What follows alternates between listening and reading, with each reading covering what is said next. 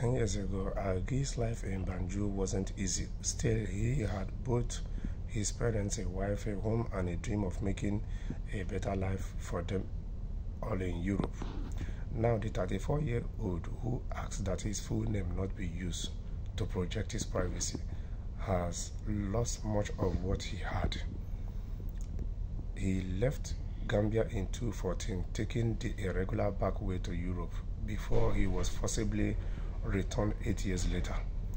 I wanted the best for my wife and future children, he told Al Jazeera about his decision to leave, looking sadly at the wedding photo on his wall. Although still married, he can't afford to support his wife and their 10 month old baby, forcing her to return to her parents' home.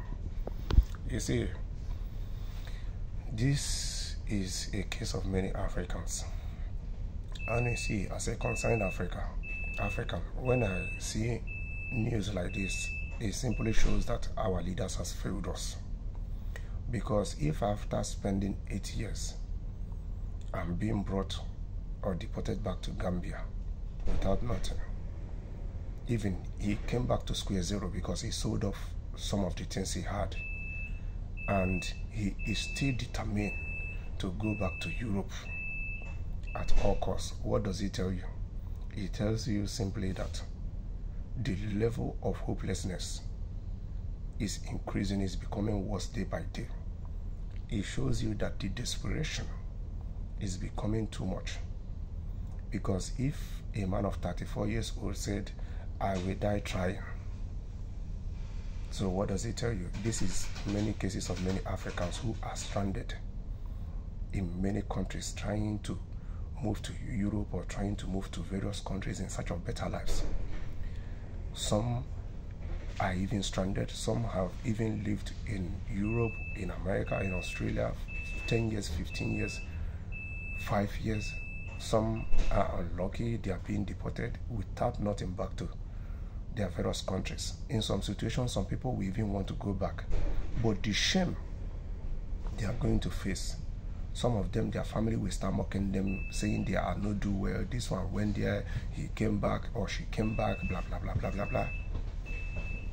Some of them, if they have some capital, they will even rather go back and restart their life rather than rather than living illegally here, rather than hiding from the authorities here. So it is high time that our African leaders should make the lives of their citizens count. Uh, and how?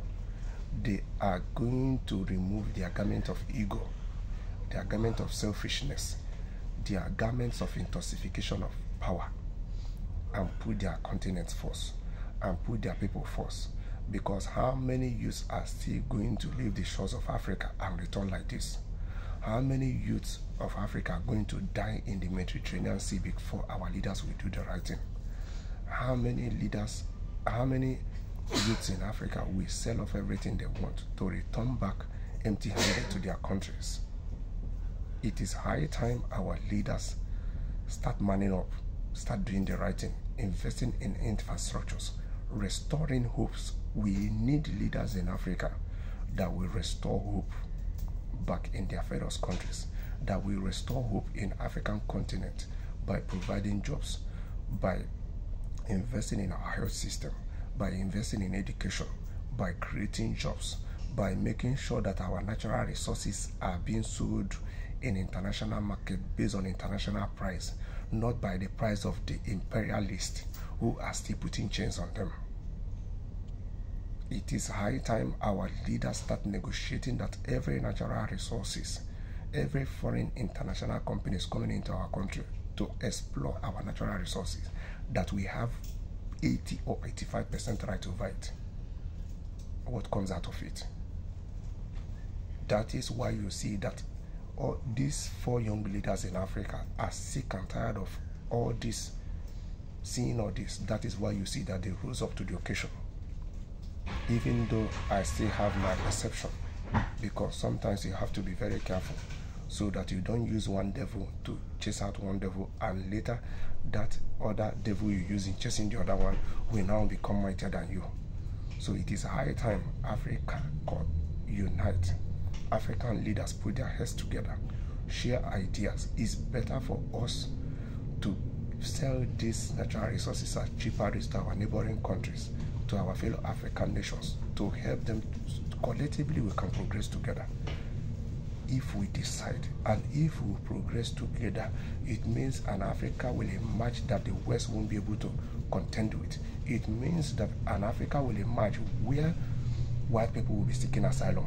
It means that an Africa will emerge where our continent will no longer be a harvest ground for these people when they need skilled workers. It means that an Africa will emerge that these people will not reform their immigration reforms when they think that their populations are declining for we to come and have children they will use in the future so that it will not affect their population and their economy.